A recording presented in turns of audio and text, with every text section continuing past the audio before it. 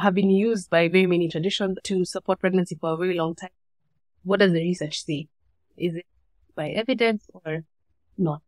They do show some evidence of supporting labor, and this is one that because they're so nutritious, you can try without advice from your medical professional. That does not apply to you if you have concerns about blood sugar levels.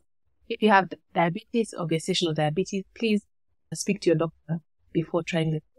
When you're getting into labor, your body produces a hormone called oxytocin, which is very important during labor. What researchers have found is that they affect your oxytocin receptors, impacts your uterine muscle, and makes them more receptive to the oxytocin that your body is producing.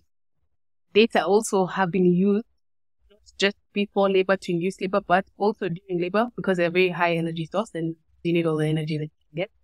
Dates and nutrition. Research showed that dates caused you to have shorter labor.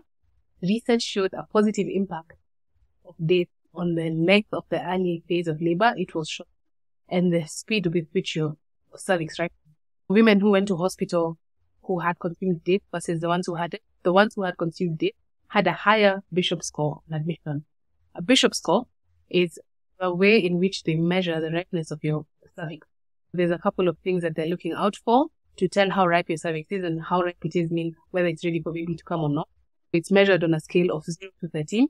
And if it's below 6, then your cervix is not ripe. If it's above, then you people who had consumed dates in comparison to people who hadn't.